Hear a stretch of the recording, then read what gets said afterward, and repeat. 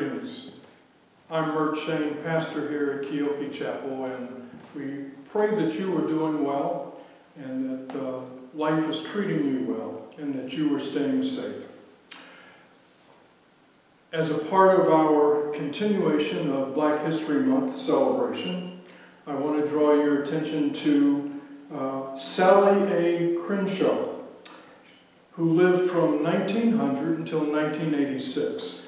She was a licensed missionary uh, preacher in the 1930s. Uh, because of prohibition of uh, prohibiting the ordination of women, she did not become a uh, pastor um, and was not ordained until 1958, in which case she was the uh, one of two of the first black women ordained in the Methodist Episcopal Church. And so we recognize her accomplishments and her ministry as we celebrate Black History Month. And now let us begin with our call to worship. Come, let us walk in the light of the Lord, that he may teach us his ways and that we may walk in his paths. And that's from Isaiah chapter 2. Let us pray. Almighty God, your blessed Son was led by the Spirit to be tempted by Satan. Come quickly to help us who are assaulted by many temptations. And as we know the weakness of each of us, let each one find you mighty to save. Through Jesus Christ, your Son, our Lord. Amen. For our children's sermon today, we recognize, I ask you, what is your favorite color? Well, look around you, behind me and at me, in terms of the church's color today. You'll notice that it's purple. And what does purple mean to the church today? Well, purple is a sign of Lent. That is a time of preparation. Purple is also a color of royalty. And many times kings and queens would wear their robes in purple as a recognition of royalty. And so that's why the church is decorated in purple and will be all throughout Lent as we celebrate these 40 days uh, of Lent. As we recognize the colors and the season of preparation, we recognize how God touched Jesus and how he was instrumental in our lives. And so let us pray. Dear God, today we give special thanks for purple, the color of royalty, the color that reminds us of preparation. So help us as we recognize these colors, and we thank you for our King Jesus. Amen. And so, this being the first Sunday of Lent, we want to recognize all that is about us um, as we go through this season. And so this season we will start with recognizing the baptism of Jesus. And so let us pray.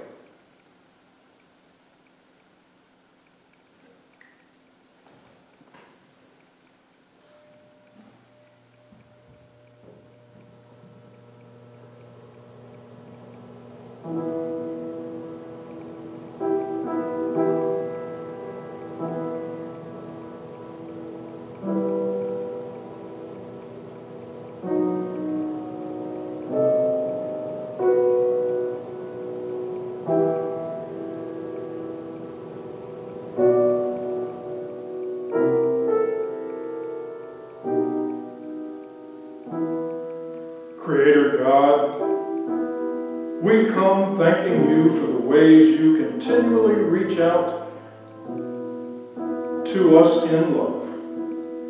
even when we do not deserve it. As you guided Noah and his family through the flood to safety in dry land, so we ask for your guidance today.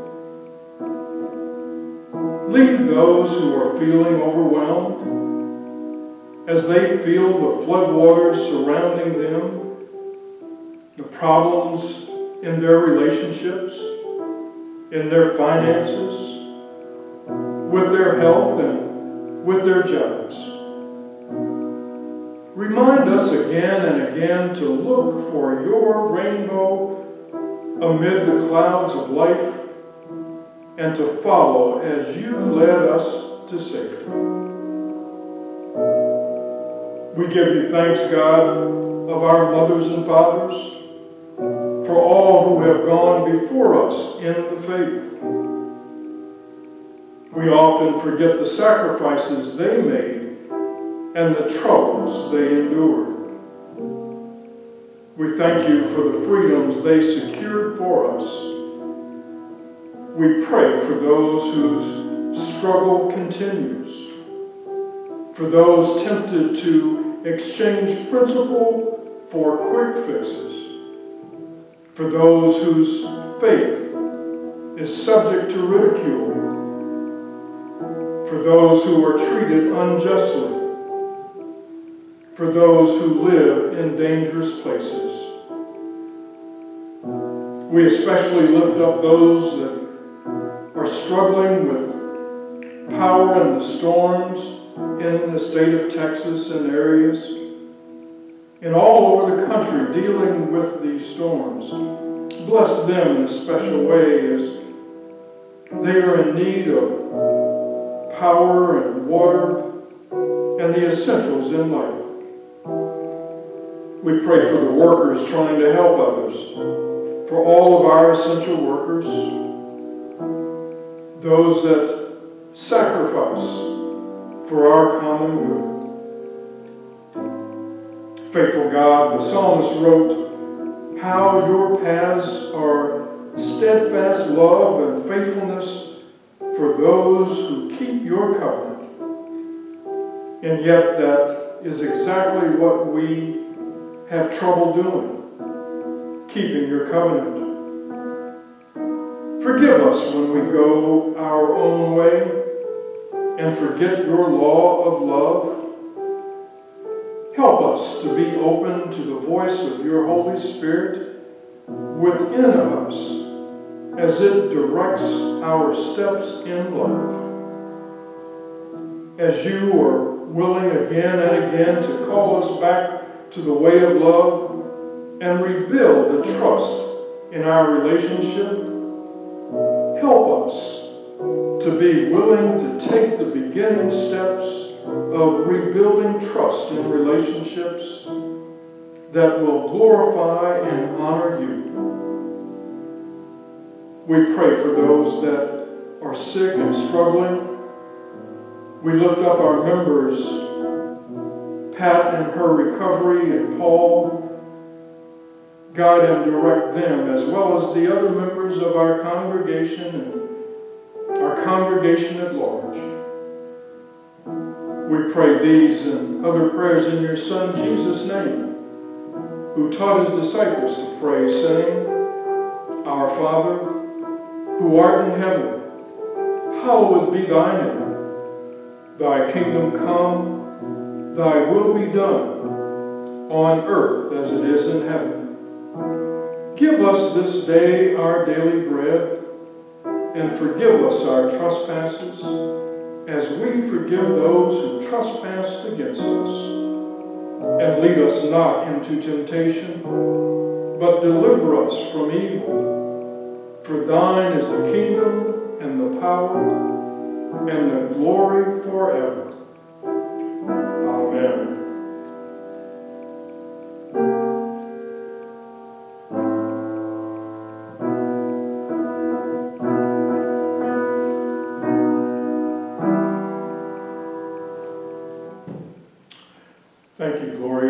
Playing Wade in the Water, an old African American spiritual. as it addresses baptism. As we give thanks today, we thank you for helping in the support of our missions. And so we ask a special uh, blessing on those of you that are contributing to the relief of uh, those in need, especially uh, contributions to UMCOR, that is our United Methodist Commission on Relief. We know that they are in the midst of helping people in the midst of the storms, and so we give thanks for them and thanks for your contributions to that ministry so that we can continue supporting those in need. So thanks and let us pray. You, O Lord, are the author and giver of all good things. Today we bring our gifts, our talents, and our very lives to you this day, asking you to bless them to be used in places where new life is needed. Make our Lenten disciples disciplines, ones of joy and sacrifice, through Christ our Lord. Amen. Hello, everyone. Our gospel lesson today is Mark uh, 9, chapter 1, verse 9 through 15. At that time, Jesus came from Nazareth in Galilee and was baptized by John in the Jordan. As Jesus was coming up out of the water, he saw heaven being torn open and the Spirit descending on him like a dove. And a voice came from heaven, You are my Son, whom I love. With you I am well pleased. At once the Spirit sent him out into the desert and he was in the desert 40 days, being tempted by Satan. He was with the wild animals, and angels attended to him. After John was put in prison, Jesus went into Galilee, proclaiming the good news of God. The time has come, he said. The kingdom of God is near. Repent and believe the good news the word of God for the people of God. Thanks be to God. Let us pray. Loving God, we give you thanks for this day, for this opportunity to worship you. Bless us and bless the reading of the scripture that it may enlighten us this day. And let the words of my mouth and the meditations of our collective hearts be acceptable in your sight. O God, for you are our strength and our Redeemer. Amen. Today's scripture is taken from the book of Psalm, chapter 25, verses 1 through 10. To you, O Lord, I lift up my soul. In you I trust, O my God. Do not let me be put to shame, nor let my enemies triumph over me. No one whose hope is in you will ever be put to shame, but they will be put to shame who are treacherous without excuse. Show me your ways, O Lord. Teach me your paths. Guide me in your truth and teach me, for you are God, my Savior, and my hope is in you all day long. Remember, O Lord, your great mercy and love, for they are from of old. Remember not the sins of my youth and my rebellious ways. According to your love, remember me, for you are good, O Lord. Good and upright is the Lord. Therefore, he instructs sinners in his ways. He guides the humble in what is right and teaches them his way. All the ways of the Lord are loving and faithful for those who keep the demands of his covenant. May God add a blessing to the reading and the hearing of the word.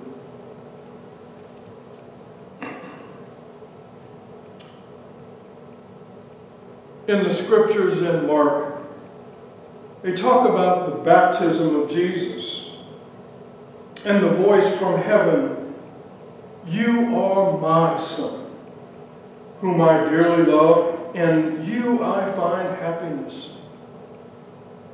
Now, it's written in numerous different ways, but the same focus is there.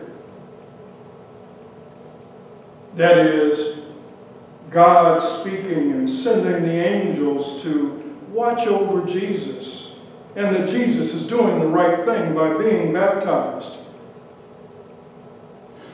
just like we are baptized. Because baptism is more than just a ritual, it's more than just uh, going through the motions. It's a matter of recognizing God's love, recognizing that God is blessing us because we are following in God's paths. You see, God's love for Jesus is the same as God's love for us.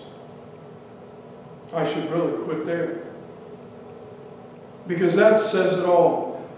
He loved Jesus as his only son, and he also loves us as individuals, as his children. See, too often we find ourselves in baptismal situations. Typically, we baptize the infants and the parents go through a process of, of actually say, stating that they are going to be supportive of the child and raise the child uh, in a religious manner. At the same time, the congregation takes an oath indicating that they are going to support and help raise the child. And it doesn't make any difference what age the child is, if it's infant or an adult. We still are making that same commitment. But recognize that baptism is not like a shield, it's not like a vaccine that totally protects the child, as many people think that well, I have to get my child baptized so that they will be protected. That's not really the case. They are protected just like Jesus was protected and have to endure and deal with the same things. You see, Jesus was inaugurated into this life of suffering, just like we are, that dying and rising. That's what happens to us. Because we have to deal with our own wilderness situations. We have to deal with all of the beasts of the world. Whether it be the beast of power, the beast of control, the beast of all the isms. That's what Jesus endured, and that's what we also must endure. And so baptism is a call to resist evil in whatever form it presents itself. Whether it be sexism or narcissism or arrogance or greed or poverty or oppression, abuse of power, apathy, anti Semitism or racism, they are all forms of evil that we have to contend with. Now, many times what happens is people just don't want to deal with the problem. They won't want to face it. They won't want to address it. As I have pointed out on numerous occasions, how my life has been affected by many of the isms. And so we have to address the issues together as God's people. so that we find strength in our numbers of coming together to battle the isms. How often have I addressed the issue of racism and how many discussions have we had relative to that? How many times people blow off the issue because they just don't want to talk about it?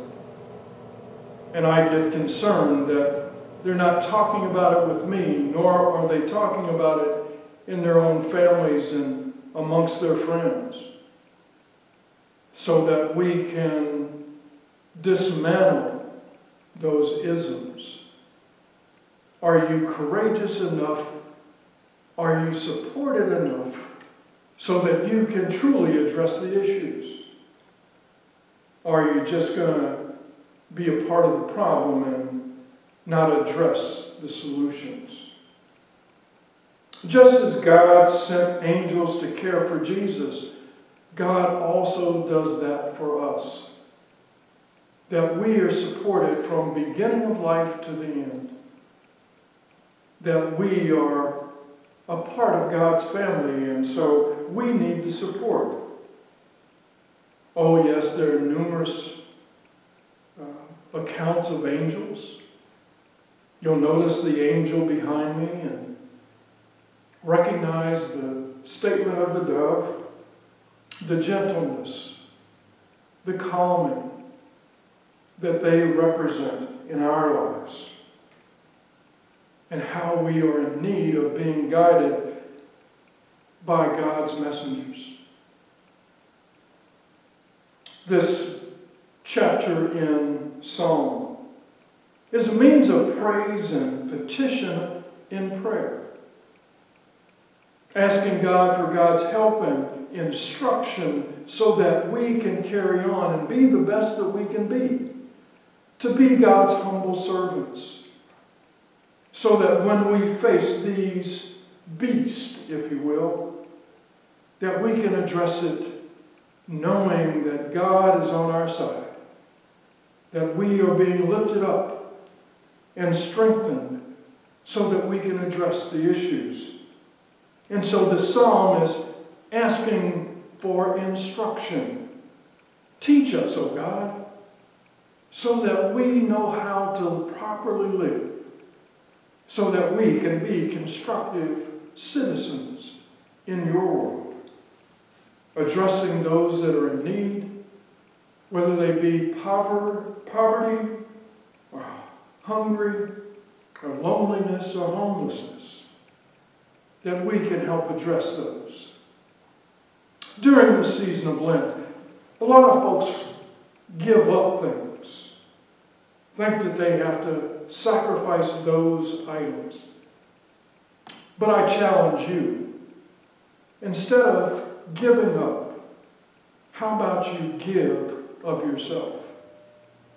Whether that be in communicating with loved ones, whether it be communicating with other church members or those that are struggling or in need, or maybe giving of your time in food pantries and, and other causes where people are in need of help. Maybe it's volunteering at the hospital or uh, in the vaccine shelters and in the testing places. There's room for all of us to give a helping hand of some type. Maybe you need to do that in writing, maybe you need to do it in phone calls, maybe you need to do it in person. But you have the ability with all the gifts that God has given you to do what is right. So I challenge you don't give up. Give of yourself for the good of us all. Let us pray. God of grace, whose Spirit descended like a dove upon Jesus at his baptism, whose voice spoke from the heavens and called him beloved, whose spirit immediately drove him into the wilderness for forty days, where he was tempted by Satan and lived among the wild animals. help us comprehend with our whole selves that your Spirit has been poured out upon us, that we are your beloved children, and that you send us into the wilderness of this world where we, too, are tempted by evil and confronted by the beast of the 21st century. Give us courage to persevere and grant us faith to believe that we can count upon your angels to be our host. We pray through Christ, who lives and reigns with you and the Holy Spirit, one God forever and ever. Amen. And so now, beloved of God, go to your neighbor in peace. Go into the wilderness where God sends you. Go in the knowledge that when you encounter trials and temptations, God's angels will care for you.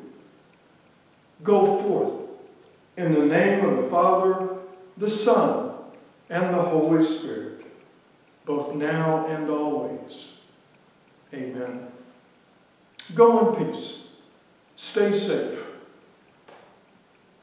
Be in good health. Take care of yourself and others, now and always. Amen.